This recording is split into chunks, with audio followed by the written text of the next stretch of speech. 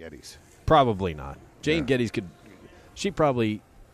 Well, she could beat both of us. Oh yeah, yeah, There's no without, question. without question.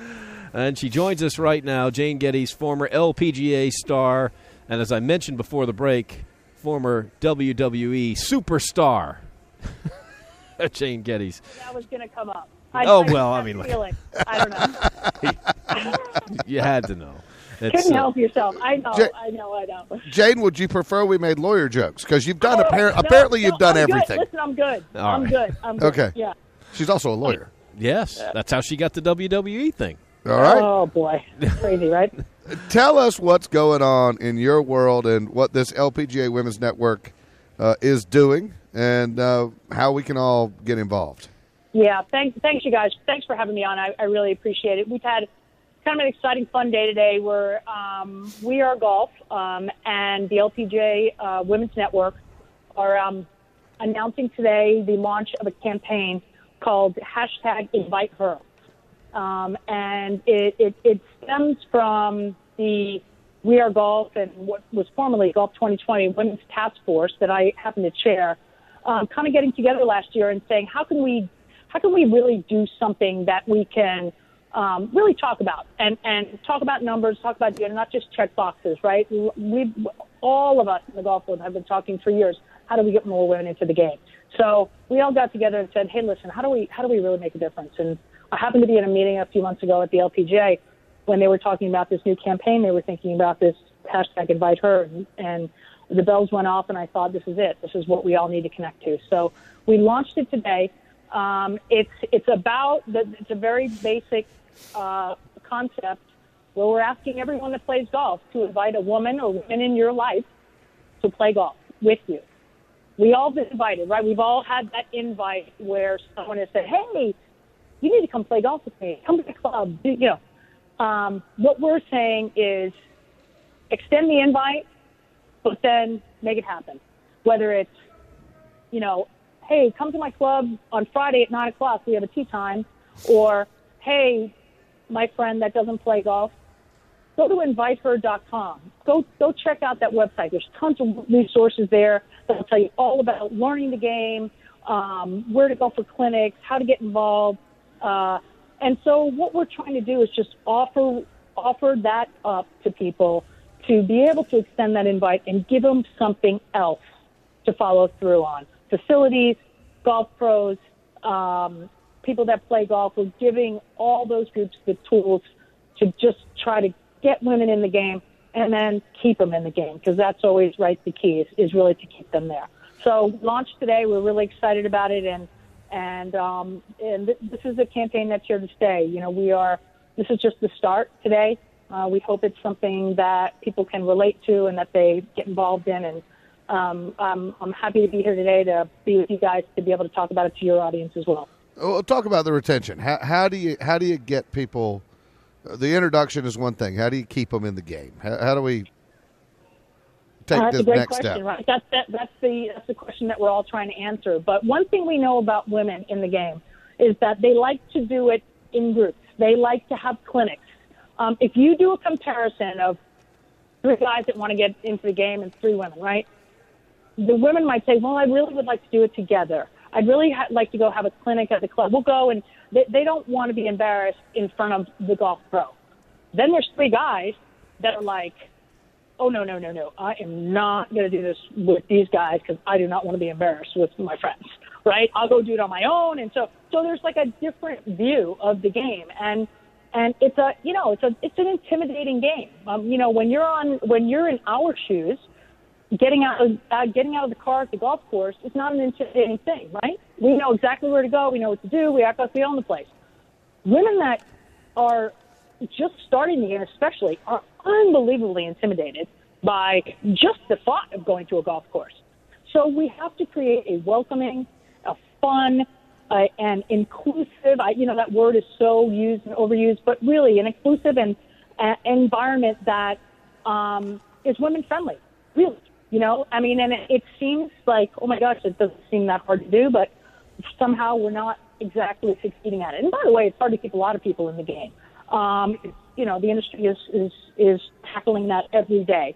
Um, but we feel like if we can do it in a way that's welcoming and, and fun and um, educational and you know and and, and and kind of tick the boxes that we now know that really affect women positively, um, you know, hopefully we can make a difference.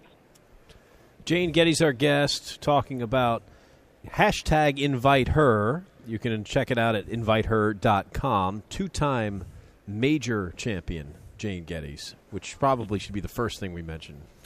Really? You didn't think the WWE was the right way to go with Well, that? No, I thought that was, but Well, last time I think I was on this show, I think we talked wrestling, right? yeah. Well, I mean that's what's that's what we that do. was what it was about, right? J- right. Jane, Great. I saw that uh, that Top Golf is involved in this project, and Yes. sure does seem like a great place to take anybody. How are they involved? Uh, that's the truth, isn't it? I mean, I am, you know, Top Golf is involved just as all of our, um, we have a, we, the, our We Are Golf Women's Task Force is, has, you know, we, we're represented in every facet of the industry, which is fantastic. Um, Top Golf being one of them.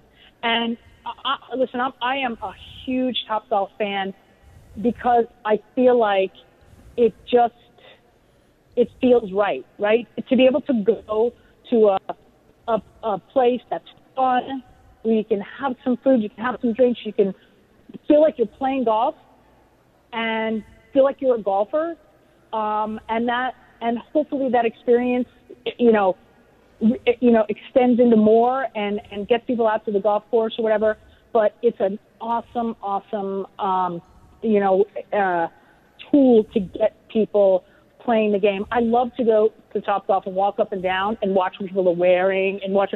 It's hysterical, right? But people are out there. It doesn't matter, right? And you you can do whatever you want to do. Get a golf club in your hand and play. And I think I think it's a great partnership for us. Um, you know, like I said, it's that you know Top Golf is part of our task force and. And um, we're obviously going to do some things with them, just like we're going to do with other facilities. Though, you know, part of what we're doing is is giving, um, I, I mentioned it earlier, is, is providing toolkits and, and really simple sort of, hey, if you're not doing women's clinics, here's, here's a good way to do them. Or, if, you, you know, if you feel like you're not getting women to the course, here's how to do that. And so we're providing resources for, for others as well. But um, Top Golf cer- certainly has, and we don't, we don't have to provide any resources for them to figure out how to get people to go to their uh, facilities, which is great. Uh, Jane, uh, did you uh, did you participate this year in the inaugural Women's Senior Open? I did. I did. How, how was it? How how, you know how what? was the It atmosphere? it was, it, you know what? It was. Um, the USGA did an amazing job of making a a. I'm going to call it a small venue because only because when you think U.S. Open, you think build outs and stands and right. There wasn't any of that. It was very old school. It was um, we had no ropes. We had ropes like around the tees, um, which we thought was going to be a nightmare. Ended up being really awesome. Um, th- they made a small venue feel so big to us.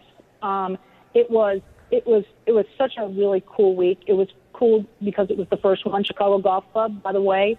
Wow, just that's all I can say. It's probably the most unique golf course I've ever played. It was in spectacular condition, uh, the, and it was set up perfectly. It, it was. It felt like a U.S. Open. Um, to all of us that haven't played in U.S. Opens in a really long time, it was. It was such an honor to be a part of it and to play in the Open. And I made the cut, which made was like a miracle on a you know in, in and of itself.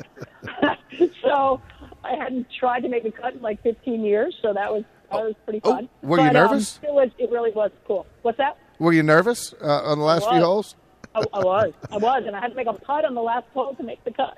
So, um, but it was, you know, it was really cool. It was, it was, it was such a thrill to be a part of it. it really was. And like I said, the USGA, they hit every note. Like they did it. They, they, they, you know, and I know it was. There were a lot of, uh, you know, there were a lot of questions going in. They, had no idea what to expect really on a lot of different levels. But I think they made a lot of great choices and it worked out great. Jane, always great to hear from you. Invite Her campaign, hashtag Invite Her, inviteher.com, launching today from the LPGA Women's Network and We Are Golf. We appreciate your time.